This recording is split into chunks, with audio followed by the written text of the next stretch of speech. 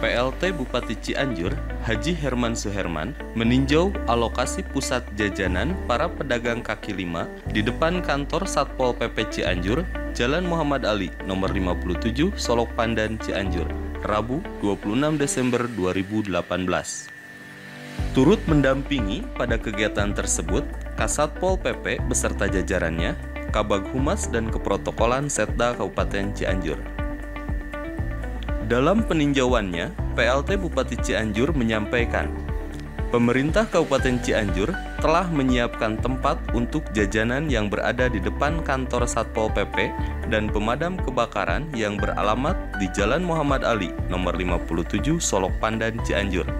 Di dalam area jajanan tersebut bisa menampung sekitar 90 lebih para pedagang kaki lima yang berada di pinggir trotoar di wilayah Jalan Siti Jenab dan Muhammad Ali karena di dalam area tersebut masih dalam tahap pengerataan lahan.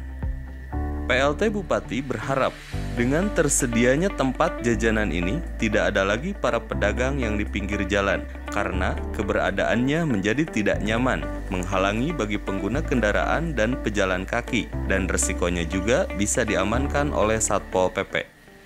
Jadi alhamdulillah kami ya pemerintah Kabupaten Cianjur telah menyediakan tempat untuk jajanan. Saya berharap dengan tersedianya ini nanti tidak ada pedagang di pinggir jalan tidak di pinggir jalan itu tidak nyaman kan menghalangi kendaraan, menghalangi pejalan kaki, dan resikonya juga diamankan oleh petugas Pol PP. Nah sekarang silahkan di sini ditempatkan. Kami memberi solusi sehingga nanti pedagang itu nyaman. Dan mudah-mudahan kalau sudah terlokasi di sini, para pembeli akan datang. Ya, akan datang dan insya Allah ini akan ditata dengan baik. Ya. Jadi ke depan kalau masih ada pedagang yang di jalan, ya tidak maaf bagimu, kami sudah menyediakan sarana yang sini. Pemerintah pun sudah memberikan solusi sehingga pedagang tersebut merasakan nyaman. Mudah-mudahan dengan dialokasikan tempat para pedagang kaki lima, di sana para pembeli bisa berdatangan dan untuk ke depannya tempat tersebut akan ditata dengan baik.